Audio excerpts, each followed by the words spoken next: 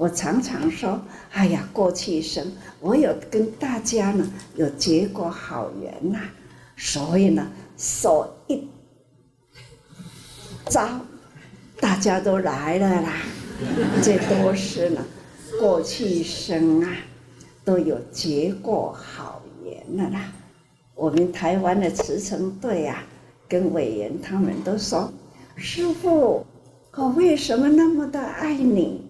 我就回答他们：因为你们还没有爱我之前，我就先爱你们了啦。